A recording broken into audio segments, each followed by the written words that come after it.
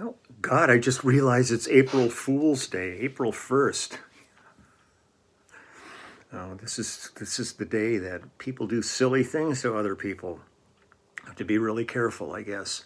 Um, first, I want to thank everybody for a great live stream yesterday. I had such a great time. I so uh, absolutely adore the community that's evolved on these live streams. So and thank you, thank you. I can't wait for the next two weeks to go by and we can do it again. I love that it becomes thematic, you know, talking about food and movies and all kinds of things. It's, it's really been cool.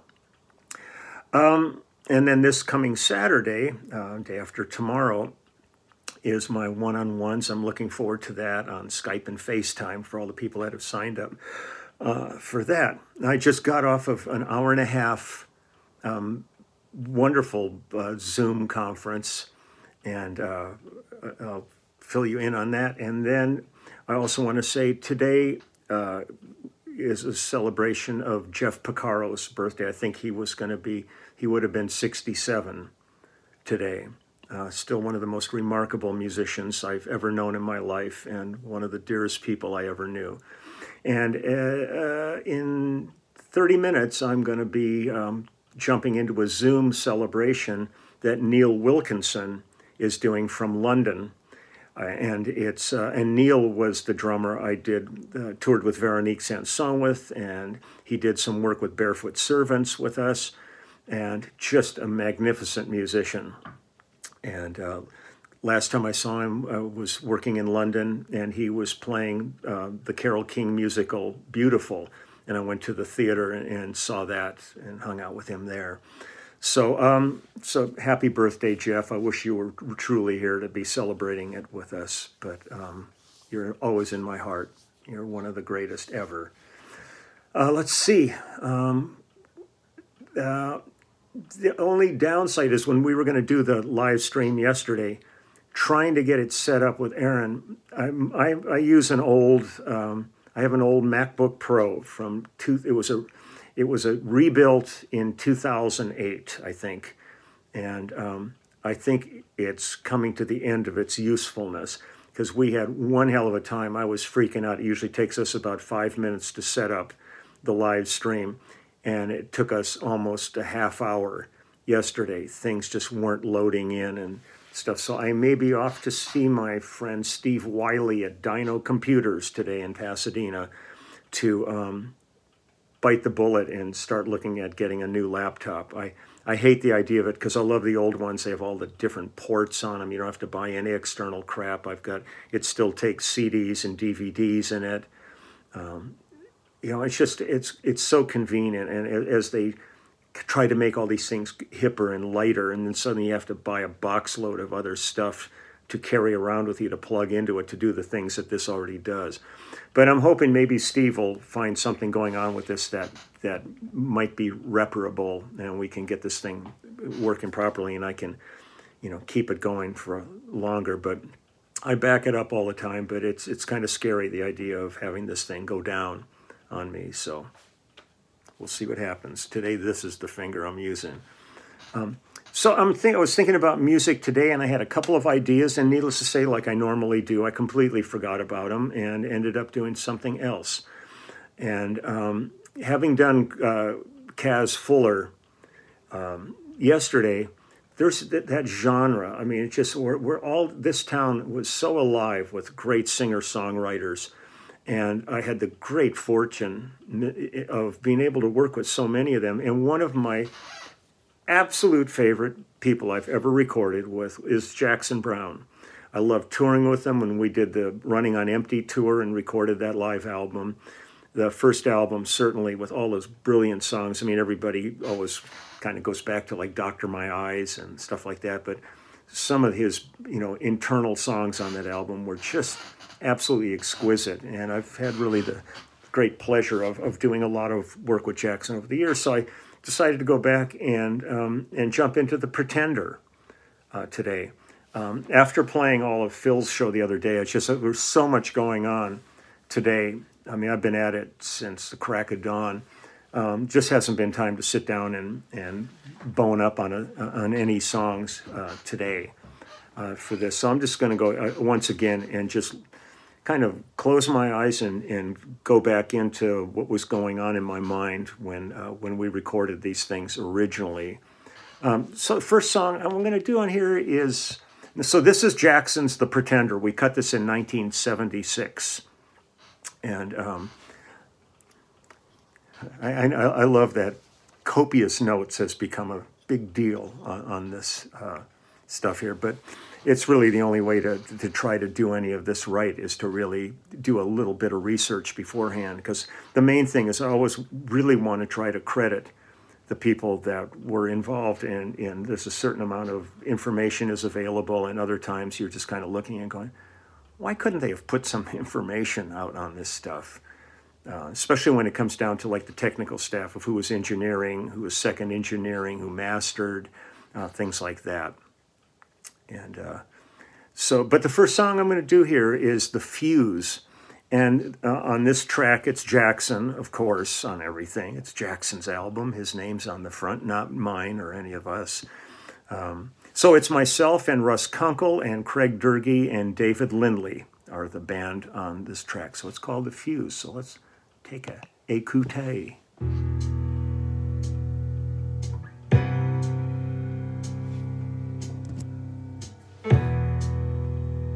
Kind of like the Pink Panther here.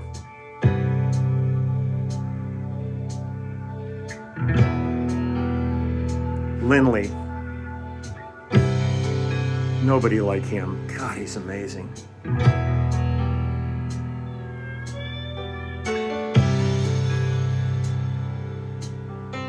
It's coming from so far away, it's hard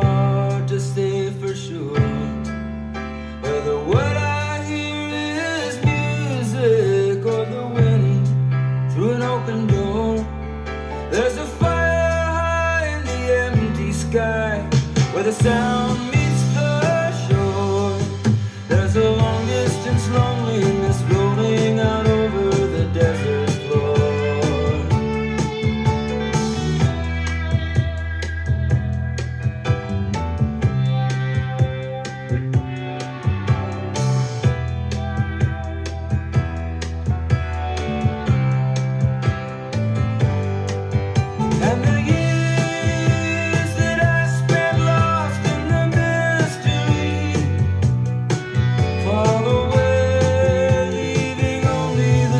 of the drum.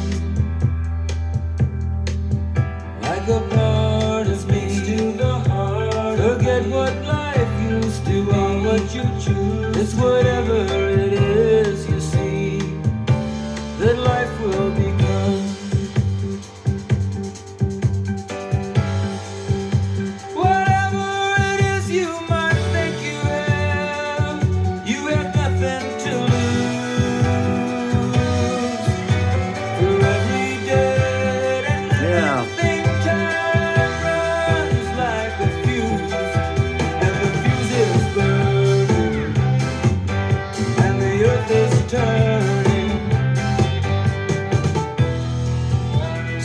different textures and moods in this. It's really amazing.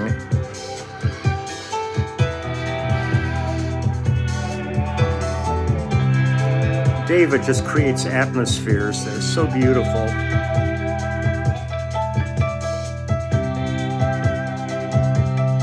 Craig.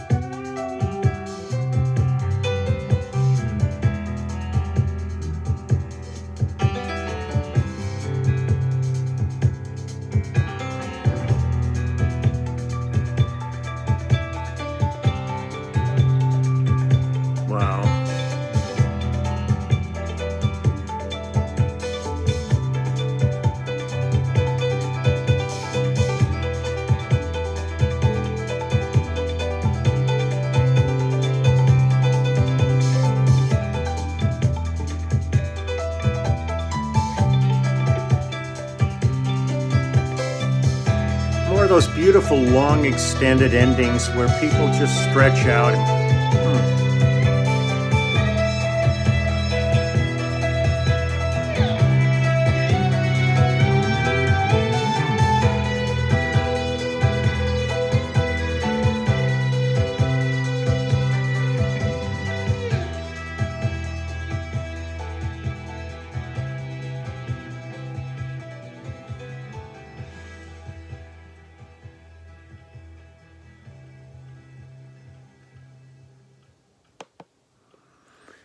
Remember the first time I heard Lindley play, he was in the group Kaleidoscope. It was around 1968, and they were opening for the Mothers, Mothers of Invention.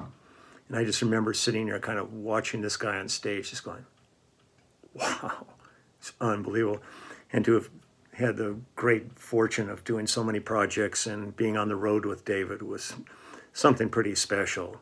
Um, he's one of the most gifted musicians I've ever worked with. And at the end of our run as the section in the late 70s, he started playing with us also. And there's a great bit of concert footage that's never been released. I think it was from um, the Pantages Theater in Hollywood. Uh, it was a James Taylor concert, and the section opened the show, and David was with us on that. I've seen it. It's just never been mixed or put together, which is really a drag. I've been trying to sort this out for years. Um, but man, just kills it on it. He's so amazing, playing violin and lap steel, all kinds of stuff. I mean, anything with strings on it, the guy eats it up like it's breakfast. Amazing. Okay, this is a song called Daddy's Tune. Um, and on this one, it's myself and Jeff Porcaro. Happy birthday, Jeff. Today is his, as I said, his birthday. On drums, Fred Tackett and Waddy Wachtel on guitar, Fred Tackett from Little Feat and all kinds of projects that we've done over the years together.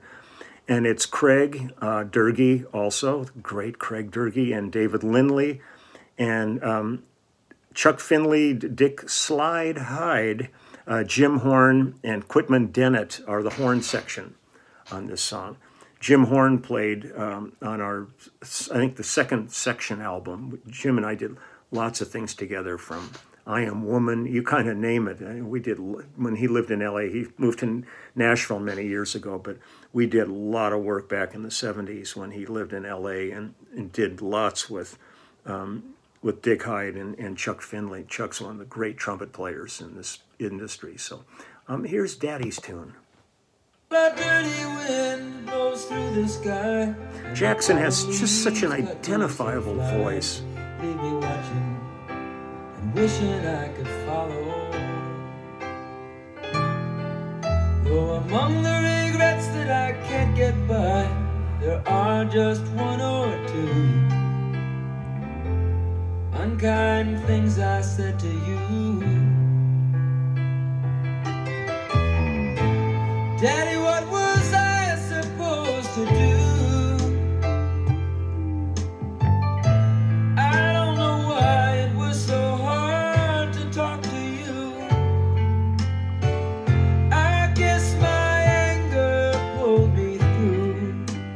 Digs in deep.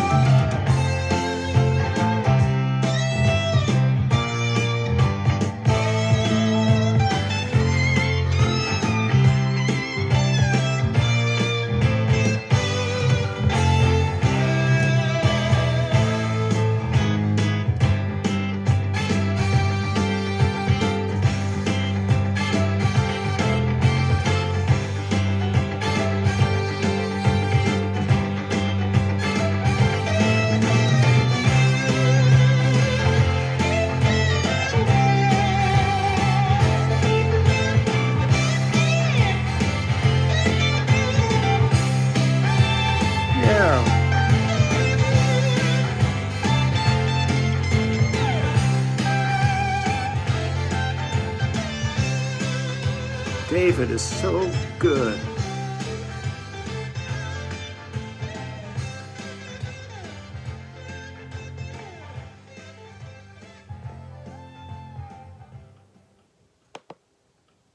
Hmm. Wow. Um, I'm just going to move right along. This is Sleep's Dark and Silent Gate. Um, I'm just, as soon as Jackson sings his first word, you just know it's Jackson. Um, and he's such a beautiful writer. His, his prose, so much of his stuff, um, in the same way with James Taylor. If you just saw their music written on a sheet and there was no music involved, it was just the lyrical thing. It's just beautiful prose. These guys are really good. So, Sleep's Dark and Silent Gate is Fred Tackett, myself, Jeff Porcaro, Craig Doerge, um, and David Campbell did the string arranging, which is like I talk uh, half the stuff I talk about. There's David Campbell on it doing the arranging.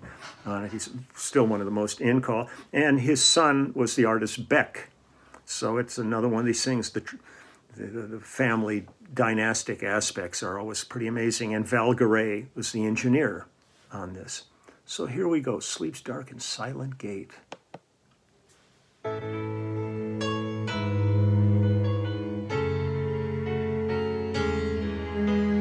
Craig is such a wonderful pianist. God, I'm so blessed to have him all these years and in the section. Sometimes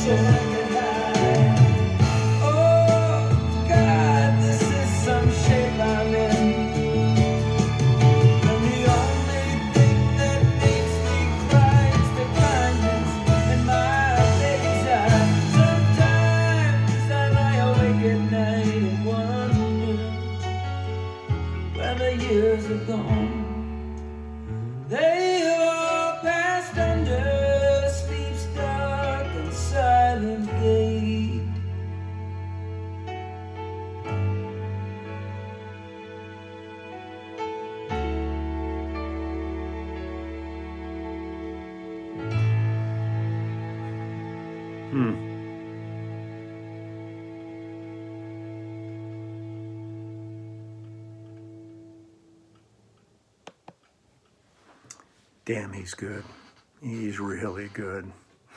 So the last one I'm going to do for you now, and then I'm going to jump off and head off to London for the Jeff Porcaro celebration that they're going to be having on Zoom.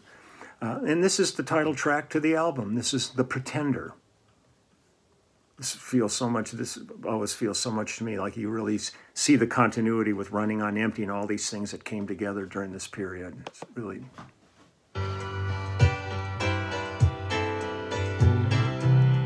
my little homage to Lou Reed and uh, get this, some tenths in there.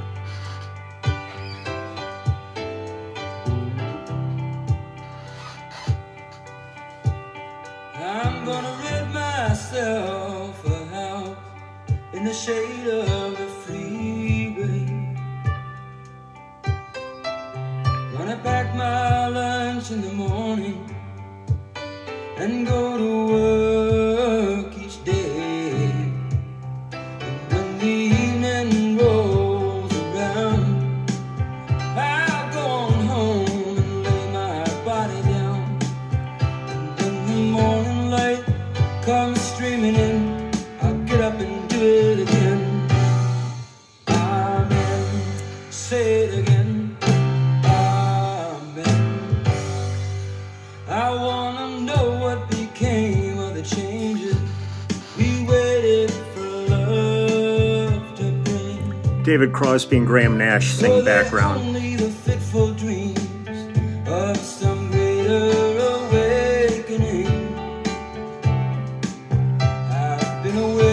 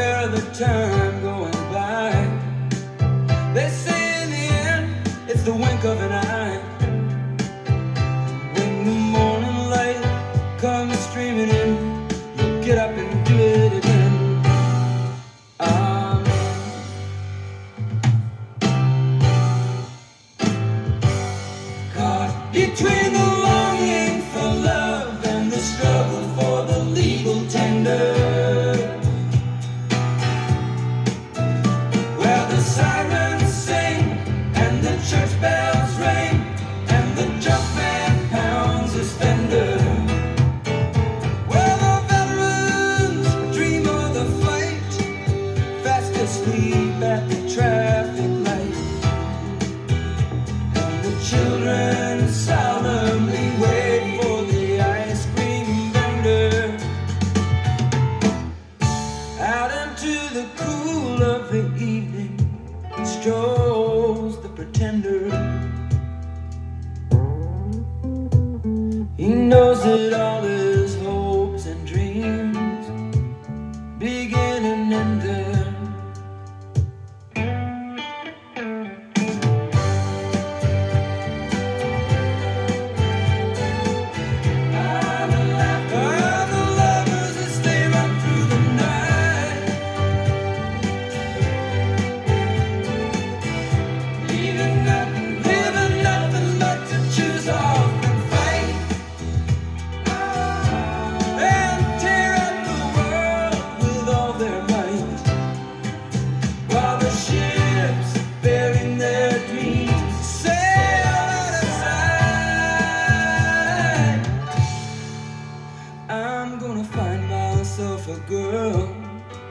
Who can show me what laughter means?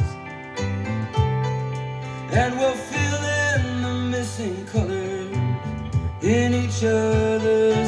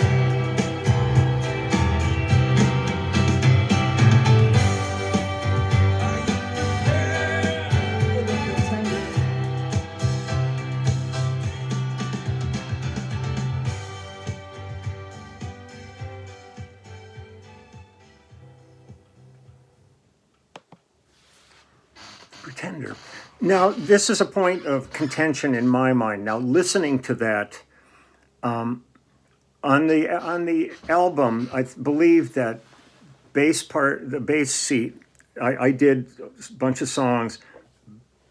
I think Chuck Rainey may have played on a couple of songs on this, and Bob Glaub played on some. Now, listening to the Pretender, it it sounds to me like that. I'm credited on on on Discog and all these, but listening to it, it sounds like Bob to me. And if it if it is Bob, I certainly don't want to be taking credit for it. And uh, I'm going to see if I can fix that. I'll check with Bob. And uh, but Bob's been touring with Jackson for for a long time. Bob's one of my favorite bass players. It's the kind of stuff. If I get called for something I can't do it, he's like one of the first people I, I would call to say, "Can you do it?" And he's done the same with me. We've been friends for decades and decades and decades. And uh, um, he's a wonderful bass player. So that might be him on the Pretender. It's it sounds to me like like his playing. So um, I know I'm on the album, but um, but sometimes they get credits a little uh, little wrong. So um, if that is you, Bob, I love you, Bob, and you sound great on it uh, as always. And uh, take good care. And I am going to uh, now go visit um, London and uh, see how the Jeff Porcaro um, Zoom is is going on. Try to contribute a couple of stories to that. Then I'm going to take this my laptop over and see if we can give this thing a little bit of CPR try to keep it alive a little bit longer here before I have to jump into getting something new. I hate it because when you start transferring everything over, stuff doesn't work, and it's just it's to me, it's always a pain. So I, I try to milk these things as long as I possibly can. But um, take good care. I will see everybody tomorrow. And um, again, thank you for a really great stream yesterday. I loved it, just loved it. And uh, and for all you characters who signed up for Saturday, I'll also be seeing you on Saturday. And then Sunday, we load in and start band rehearsals. I can't believe it. It's going to be so great. And we got a bunch of actual real work to do. We got some recording we have to do. We're doing the the closing music for the documentary film. We got to get that in. And there's some other stuff going on that they, they need us to actually record. Um, but other than that, we're going to start working on the new material so we can get back in the studio, hopefully in May, and do another album that'll come after the one we're going to be releasing in August, which we cut before the pandemic, which was supposed to be out in November. It's all the year just turned into whatever it is. But let's just stay safe and everything. And thank you again, everybody who's working to keep everything afloat. Um, you are the uh, frontline workers. You are the heroic people of this period. And I can't thank you enough every day. So take good care, and I will see everybody tomorrow. Okay? Bye bye.